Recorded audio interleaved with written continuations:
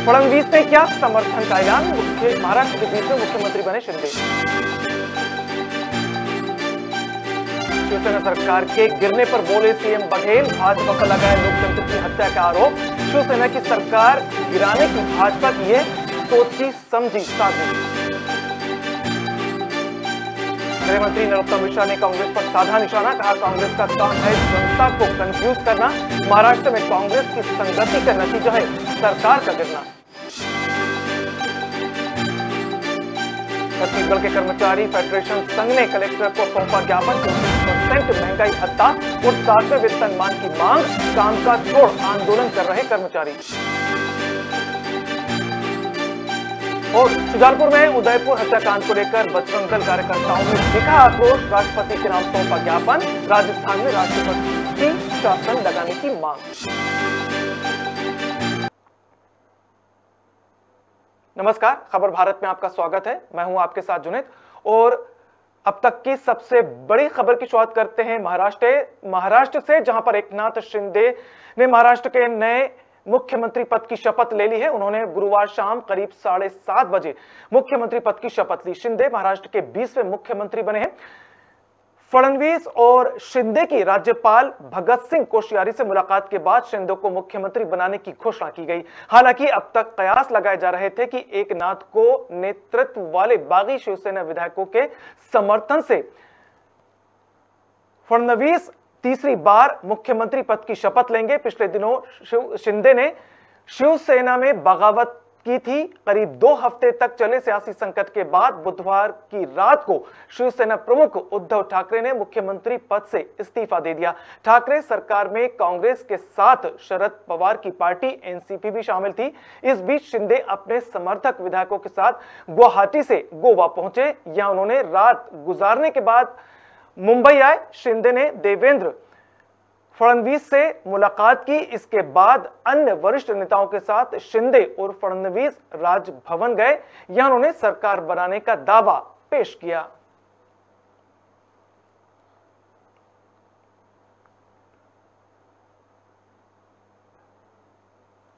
महाराष्ट्र में कई दिनों से चल रहे सियासी उठापटक के बाद आखिरकार शिवसेना की सरकार गिर गई। इस मुद्दे पर छत्तीसगढ़ के मुख्यमंत्री भूपेश बघेल ने बीजेपी पर वार करते हुए इसे बीजेपी की रणनीति बताया और कहा कि भाजपा विपक्ष की सरकार को बर्दाश्त नहीं कर पा रही है और उसे सत्ता से गिरा देने के तमाम हथकंडे अपना रही है। भाजपा जिस तरीके से इस बात का जश्न मना रही है, उससे यह बात साफ़ ज़ाहिर होती है कि शिवसेना की सरकार गिराने बनाने की भाजपा की यह सोची समझी साजिश है। यह देश में लोकतंत्र की हत्या करने की गतिविधि है। भारतीय जनता पार्टी विपक्ष को बर्दाश्त नहीं कर पा रही है और इस कारण से वो किसी भी काम, दाम, दंड, भेद के माध्यम से वो सरकार गिराने में लगे थे और उसमें वो उनको सफलता मिली।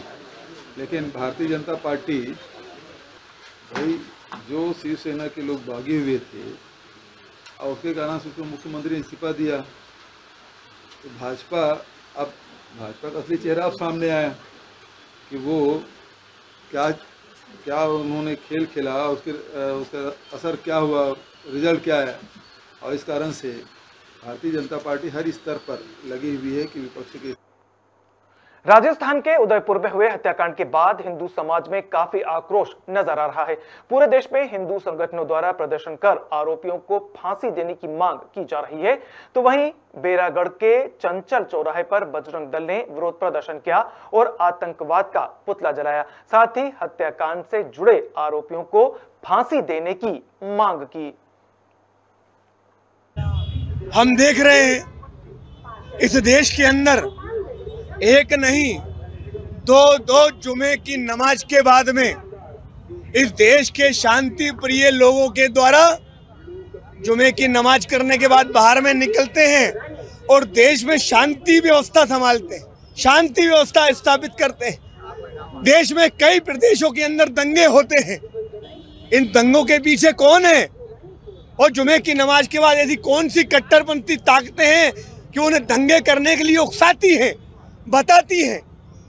और इनसे भी आगे बढ़ते हुए, इस देश की संप्रभुता पर चुनौती देते हुए, देश के संविधान को चुनौती देते हुए, देश की चुनी हुई सरकारों को चुनौती देते हुए, देश के प्रधानमंत्री को वीडियो कॉल करके सीधी चुनौती देते हुए, ऐसे गद्दारों के द्वारा राजस्थान के उदयपुर ज़िले में हिंदू युवक कन्हैया लाल की निर्मम तरीके से परसों के दिन हत्या कर दी जाती है। क्या दिखाना चाहते हैं? क्या बताना चाहते हैं कि हिंदू समाज डर जाए? सरकारें डर जाए? प्रशासन डर जाए? संविधान में कोई आस्था नहीं। वो संविधान की दुहाई देते हैं दिखाने के लिए, लेकिन संविधान में उनकी कोई आस्था नहीं है। बजरंग दल के द्वारा पूरे देश भर के अंदर आज के दिन जिला केंद्रों पर प्रदर्शन हो रहे हैं। हम केंद्र की सरकार से मांग करते हैं कि वह कन्हैया लाल के हत्यारों को फांसी के तख्ते तक पहुँचाए। साथ ही ऐसे हिंदू परिवारों को, ऐसे हिंदू युवकों को चिन्हित करके उनकी सुरक्षा मुहैया उनको कराए। यह मांग बजरंग दल करता है। और साथ ही हम ऐसी कट्टर इस्लामिक जिहादी मानसिकता के लोगों को यह चेतावनी भी देते हैं कि बजरंग दल यदि सड़कों पर आकर के सीधी कार्रवाई करना चालू कर देगा तो ऐसी ज़्यादा मानसिकता के लोगों को बहुत बड़ी समस्या खड़ी हो जाएगी। उदयपुर के कन्हैयालाल तेली हत्याकांड पर तेली साहू समाज ने नरसिंहगढ़ में आक्रोश जताया और आरोपियों को फांसी की सजा देने और संपत्ति कुर्की की मांग को लेकर नारेबाजी की। साथ ही राष्ट्रपति और राज्यपाल के नाम तहसीलदार प्रकाश चंद्र पांडे को ज्ञापन सौंपा। इस दौरान साहू समाज अध्यक्ष अरविंद साहू सहित बड़ी संख्या में कार्यकर्ता मौजूद रहे।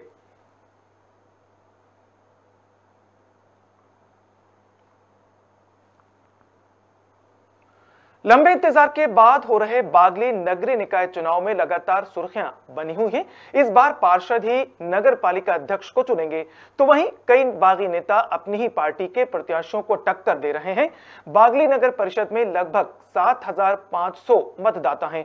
साथ ही अध्यक्ष पद महिला के लिए आरक्षित है। आपको बता दें कि बागली पूर्व मुख्यमंत्री कैलाश जोशी का नगर है और भाजपा का गढ़ माना जाता है।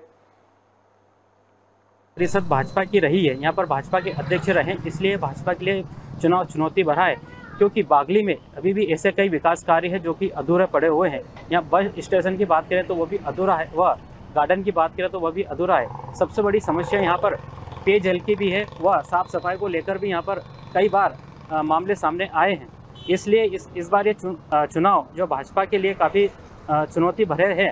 हालाँकि अभी ये देखना यह है कि इस बार जो पार्षद द्वारा जो अध्यक्ष का चयन किया जाएगा, उसमें किसे जीत मिलती है और किसकी परिषद बनती है, यह तो समय पर पता चलेगा। लेकिन वर्तमान में देखा जाए तो नगर परिषद चुनाव को लेकर बागली में काफ़ी हलचल देखी जा रही है। सभी पार्षद अपने अपने स्तर पर चुनाव प्रसार में लगे हैं और मतदाताओं को अपनी ओर आकर्षित करने में लगे हैं। हालाँकि छः जुलाई को यहाँ पर मतदान होना है और परिणाम आने के बाद यहाँ पर स्थिति स्पष्ट होगी कि यहाँ पर किसकी परिषद बनती है। दंतेवाड़ा और सुकमा ज़िले की सीमा पर कुछ दिनों से लगातार नक्सलियों और जवानों के बीच मुठभेड़ हो रही है। बता दें कि कटे कल्याण थाने अंतर्गत ये मुठभेड़ हो रही है, जिसमें दोनों ओर से गोलीबारी हो रही है। मौके पर सीआरपीएफ और डीआरजी के जवान इन नक्सलियों से मुकाबला करते रहते हैं।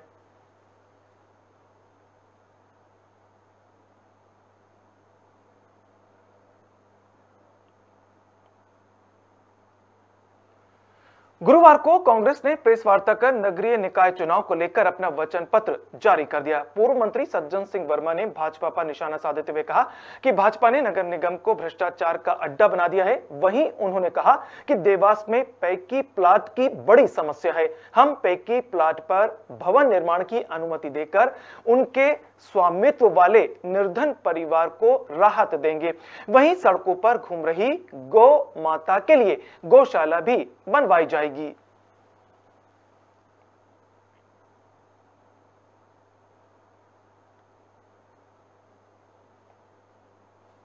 जो। परसेंट किया जाएगा। संयुक्त करके नजूल की तो हमने कर दी, लेकिन ये भ्रष्ट भाजपा की सरकार और नगर निगम ने हमारी सरकार में नजूल की बाध्यता समाप्त करने का नोटिफिकेशन जारी हो गया। वो लेटर कलेक्टर को लाके दे दिया, लेकिन आज तक नागरिकों को राहत नहीं मिल। ये तो आपराधिक प्रकरण लगाए जाना चाहिए कलेक्टर वगैरह नगर निगम के ऊपर। ये जो पिछली प्रदेश की सरकार ने नजूल की बाध्यता समाप्त की क्यों बाध्यता भी लागू की महाराष्ट्र में घटनाक्रम जो हुआ जानते ये भी सरकार है देखिए मैं तो कब से बोल रहा हूँ कि भारतीय जनता पार्टी को अपने बाहुबल पे विश्वास खत्म हो चुका है। जगह जगह भ्रष्टाचार के पैसे से कर्नाटक हो, गोवा हो, मध्य प्रदेश हो, महाराष्ट्र हो, ये भ्रष्टाचार के पैसे से विधायकों को खरीद फरोख्त करके लोकतंत्र की हत्या कर रहे हैं। देश की जनता सारी बातें खुली आँखों से देख रही है। कि लोकतंत्र के हत्यारों को आने वाले दो हज़ार तेईस और चौबीस में जनता माफ़ नहीं करेगी। कांग्रेस को इतना ज़बरदस्त मैंडेट देगी, इस तरह की नहीं। इंदौर में टीआई खुदकुशी मामले की जाँच लगातार जारी है। पुलिस ने टीआई के मोबाइल को जाँच का हिस्सा बना दिया है। कॉल रिकॉर्डिंग को जाँच का आधार माना जा रहा है। जिस महिला एसआई के साथ टीआई का विवाद हुआ था, उससे भी पूछताछ की जा रही है। पुलिस यह जानने में जुटी है कि आखिर क्या कारण था कि टीआई को तनाव में आकर खुदकुशी करनी पड़ी। इस पूरे मामले में आगे का जो घटनाक्रम है, उसमें सबकी निगाहें मुख्य तौर पर या आगे का जो घटनाक्रम है, उसकी दिशा बहुत हद तक टीआई के जो मोबाइल की जो जानकारियाँ हैं, मोबाइल का जो डाटा है, जो प्रविष्टियाँ हैं, उसके आधार पर तय होगा कि क्या उनको किसी ने कोई धमकी दी थी, कोई और ऐसे तथ्य थे जो उनको मानसिक रूप से तनावग्रस्त किए हुए थे। या या महिला है जिसका आप पूछ रहे हैं। उसके बारे में भी अगर कुछ ऐसी दोनों के बीच में कुछ ऐसा संवाद हुआ जिसने ऐसी परिस्थितियाँ पैदा की, इन सारे मुद्दों के बारे में पुलिस फॉरेंसिक रिपोर्ट आने के बाद और उसमें जो भी उसमें डाटा थे या उसमें जो भी संवाद हुआ होगा, जो आपस में सूचना, घटना के संबंध में जो बातें हुई होगी, इन सारे चीज़ों का अध्ययन के बाद पुलिस उसमें आगे जाँच की दिशा तय करेगी। बहरहाल पूरे को फॉरेंसिक टीम के पास भेजा गया है। फॉरेंसिक टीम उसको आगे की जो जानकारी होगी पुलिस के साथ जब प्रदान करेगी, उसके बाद इस इन्वेस्टिगेशन की अंतिम दिशा तय हो पाएगी। प्रदेश कांग्रेस अध्यक्ष कमलनाथ जबलपुर पहुँचे, जहाँ उन्होंने ग्वारी घाट में माँ नर्मदा की पूजा अर्चना करने के बाद अपना रोड शो शुरू किया। रोड शो से पहले कमलनाथ ने पत्रकार वार्ता की, जिसमें उन्होंने कहा कि स्थानीय चुनाव में मेरा ज़्यादा इंटरेस्ट नहीं रहता है। इस वजह से मैं उस और ज़्यादा ध्यान भी नहीं देता हूँ। ओवैसी के मध्य प्रदेश दौरे पर कहा कि यह सभी जानते हैं कि ओवैसी किसको लाभ पहुंचाना चाहते हैं। इस दौरान उन्होंने सीएम शिवराज पर भी पलटवार किया और कहा कि मैं सीएम शिवराज को कहना चाहता हूँ कि वो एक मंच में मेरे साथ आ जाएँ। मैं बता दूँगा कि पंद्रह महीने की सरकार में हमने क्या किया और वो हिसाब दें अपनी अट्ठारह साल की सरकार का।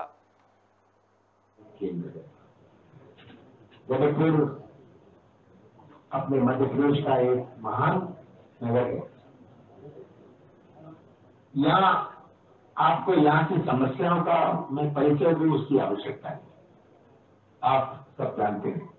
पर दुख मुझे इस बात का है कि स्मार्ट सिटी किस प्रकार से एक माध्यम बन गया, केवल जबलपुर की बात नहीं है, पूरे प्रदेश की एक माध्यम बन गया, भ्रष्टाचार। आज जो भ्रष्टाचार की व्यवस्था बनाई। स्मार्ट सिटी के नाम पर मेट्रो सिंगरौली में था, सागर में था ग्वालियर में था, मैं सब जगह। जहाँ जहाँ हूँ। शिवराज सिंह की घोषणाएँ पढ़ते हैं। उनकी रिकॉर्डिंग बताते हैं। कहीं कहा कि मैं इसको सिंगापुर बना दूँगा। कहीं कहा सिंगरौली में कहा कि मैं इसे इंदौर बना दूँगा। और क्या हालात? सब पढ़ के सुनाते हैं कि क्या हालात। स्मार्ट सिटी एक ऐसा रैकेट बन गया। कल की बात आपने देखी ये इसको कहते हैं स्मार्ट सिटी। स्मार्ट सिटी के लिए हमें चाहिए विजन शिवराज जी सोचते हैं स्मार्ट सिटी टेलीविज़न से बन जाएगी। झूठ से बन जाएगी। घोषणाओं से बन जाएगी। स्मार्ट सिटी के लिए एक सोच चाहिए। आज जबलपुर की आबादी बढ़ रही है। दस साल पहले क्या आबादी थी? दस साल बाद क्या आबादी होगी? और दस साल बाद क्या जबलपुर दे पाएगा उस आबादी को? अगर आज के दिन पीने के पानी की समस्या, नालियों की फ्लडिंग की, पार्किंग की, सड़क की, हमारे नर्मदा मैया की गंदगी की तो दस साल बाद अपना जबलपुर क्या रहेगा? अगर हम वो विजन से ना देखें तो जबलपुर का भविष्य क्या होगा? मैं तो कहता हूँ, दस साल की योजना बनाए। दो हज़ार बत्तीस की, दो हज़ार तैतीस की हम योजना बनाए। और तब तय करें कि हम 2022 में क्या करेंगे 2023 में क्या करेंगे। हर क्षेत्र की, हर शहर की एक ढोने की क्षमता होती है, जिसको कहते हैं कैरिंग कैपेसिटी जब मैं पर्यावरण मंत्री था, मैंने ये लागू किया था दिल्ली में और बड़े बड़े शहरों में कि कैरिंग कैपेसिटी की स्टडी करी जाए।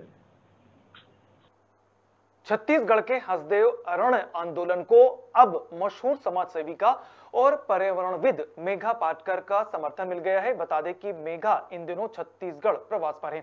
वहीं मेघा ने प्रेस कॉन्फ्रेंस में कहा कि ऐसे खनन का कैसे समर्थन किया जा सकता है, जो प्रकृति पर आधारित आदिवासियों के अस्तित्व के खिलाफ हो। उन्होंने कहा कि कांग्रेस के शासनकाल में ही वनाधिकार कानून पेशा बना, लेकिन कांग्रेस की भूपेश सरकार ही इसका पालन नहीं कर रही है।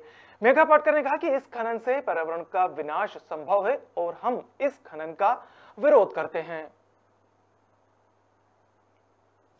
कोई कॉरपोरेट से अलग अलग जगह लड़ने वाले, जल जंगल, ज़मीन बचाने वाले और सही विकास जो निरंतरता और न्याय के आधार पर हो, संविधान के चौखट में लाया जाए और कानूनी प्रक्रिया हो, उसमें धांधली नहीं हो, भ्रष्टाचार नहीं हो, अत्याचार नहीं हो और आदिवासी जैसे प्रकृति निर्भर समुदायों का विस्थापन और उससे अडानी अंबानी जैसे को करोड़पति और अब्जाधीश बनाने की बात नहीं हो, ऐसा विकास हम चाहते हैं।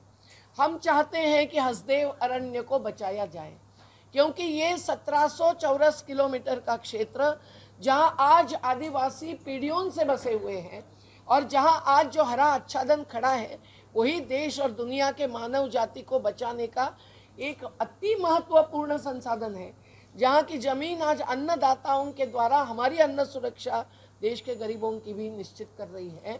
और जहाँ हसदेव बांगो जैसा जलाशय तो बना गया, लेकिन उन नदियों के जला, जलग्रहण क्षेत्र में अगर इस प्रकार की कटाई होती है तो जो हकीकत नर्मदा की है, सरदार सरोवर बाँध ऊँचा कर दिया मोदी जी ने, लेकिन नर्मदा का पानी कम कम होते हुए इतना प्रदूषित है कि पीने लायक नहीं है। ये स्थिति हो जाएगी। ये हसदेव अरण्य के क्षेत्र में रहने वाले हर गाँव की ग्राम सभा कह रही है। लेकिन उनके प्रस्ताव को पलटकर झूठे प्रस्ताव लाना हमें मंजूर नहीं है। वो पेशा कानून और वन अधिकार कानून जो कांग्रेस के नेतृत्व में यूपीए सरकार नहीं लाया था, लाए थे, उनकी ही, उनका ही उल्लंघन जो हो रहा है, वो हमें बघेल सरकार से अपेक्षा नहीं थी। लेकिन आज ऐसी स्थिति आई है, इसलिए जन आंदोलन गृह मंत्री नरोत्तम मिश्रा ने एक बार फिर कांग्रेस पर निशाना साधा है। मिश्रा ने कहा कि कांग्रेस का काम ही जनता को कंफ्यूज करना है।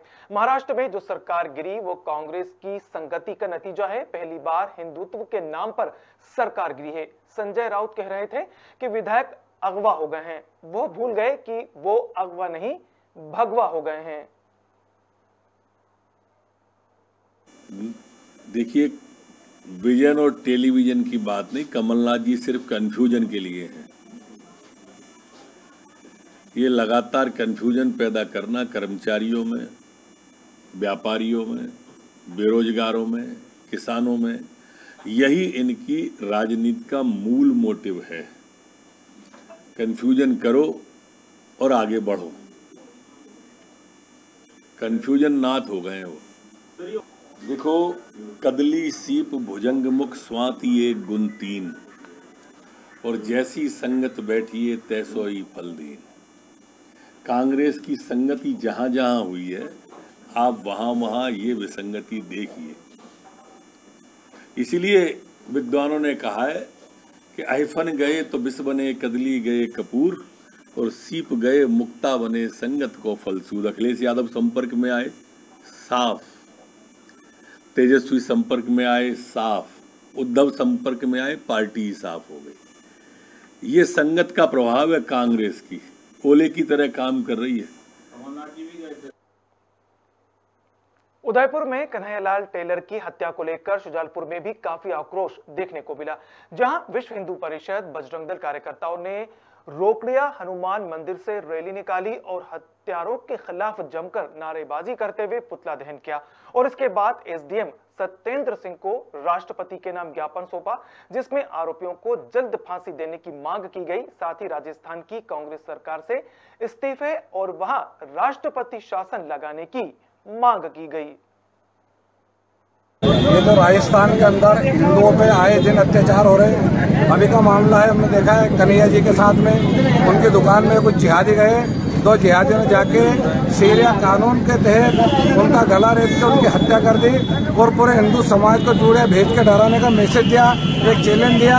अगर राजस्थान के अंदर हिंदुओं की सुरक्षा राजस्थान सरकार नहीं कर सकती है तो राजस्थान सरकार को इस्तीफा दे देना चाहिए और केंद्र सरकार को वहाँ पर राष्ट्रपति शासन लगाना चाहिए। ऐसे जिहादियों का सपोर्ट कर रही राजस्थान सरकार को चुल्लू और पानी में डूब न पाना चाहिए। अगर वो हिंदुओं का सहयोग और सपोर्ट नहीं कर सकती है तो हिंदू सत्ता सरकार अपने हाथ में लेने की ताकत रखते और ऐसे आतंकियों को, ऐसे जैसे बाबर की औलादों को सबक सिखाने का हुनर अच्छे से हिंदू समाज जानता है। अब इसमें जैसा कि सभी को पता है कि राजस्थान में उदयपुर में जो नृशंस हत्या की गई थी, इसके विरोध में बजरंग दल और विश्व हिंदू परिषद जिला इकाई शाजापुर और शुजालपुर में मिलकर के विरोध में ज्ञापन सौंपा है। वहाँ मैं राष्ट्रपति जी के नाम से माध्यम से उसको प्रेषित किया जाए बाकी शांति है और सभी से बातचीत हो गई थी। तो इन्होंने संख्या भी सीमित रखी है। संदेश उनको पहुँचाना था। प्रशासन ने जो समन्वय किया वो पूरी तरह से इन्होंने उसको समर्थन किया त्रिस्तरीय पंचायत चुनाव को लेकर पुलिस बल के जवानों ने जोबट क्षेत्र के संवेदनशील क्षेत्रों में फ्लैग मार्च निकाला और भय मुक्त होकर मतदान करने का संदेश दिया। एसडीएम देवकी नंदन सिंह, एसडीओपी नीरज नामदेव के नेतृत्व में मतदान केंद्रों तथा स्ट्रांग रूम का लगातार भ्रमण किया जा रहा है। पुलिस शांतिपूर्ण चुनाव के लिए स्थानीय लोगों से संवाद भी कर रही है। वहीं एसडीओपी नीरज नामदेव ने कहा कि शांतिपूर्ण ढंग से चुनाव संपन्न करवाना उनकी प्राथमिकता है। पुलिस लगातार क्षेत्रों में फ्लैग मार्च कर रही है। चुनाव के दौरान असामाजिक तत्वों पर पुलिस की कड़ी नज़र है और दोषी पाए जाने वाले लोगों को बख्शा नहीं जाएगा। जैसे कि विदित है, आगामी एक सात 2022 को त्रिस्तरीय पंचायत चुनावों के द्वितीय चरण में चुनाव जोबट विकास खंड के अंतर्गत होने वाले हैं, जिसकी तैयारियाँ आज मैंने और एस ने मिलकर करी। तैयारियों की समीक्षा की और कस्बे में तथा संवेदनशील क्षेत्रों में फ्लैग मार्च के माध्यम से लोगों को जागरूक किया गया ताकि हमारे जो चुनाव हैं वो शांतिपूर्ण तरीके से संपन्न हो सके। इस दौरान स्ट्रॉन्ग रूम का भी निरीक्षण किया गया, वहाँ की तैयारियों की भी समीक्षा की गई है। कल सभी को सात बजे स्ट्रॉन्ग रूम में बुलाया गया है और वहीं से मतदान दलों को अपने अपने बूथों पे भेजा जाएगा। लगातार हमारी police sector mobile, sector magistrate संयुक्त रूप से भ्रमण कर रहे हैं और सभी जो आमजन हैं, जिस जिस क्षेत्र में वोटिंग होने वाली है, सभी से शांतिपूर्ण मतदान करने की अपील की गई है। फ़िलहाल इस बुलेटिन में मेरे साथ इतना ही, लेकिन बने रहिए खबर भारत के साथ। नमस्कार।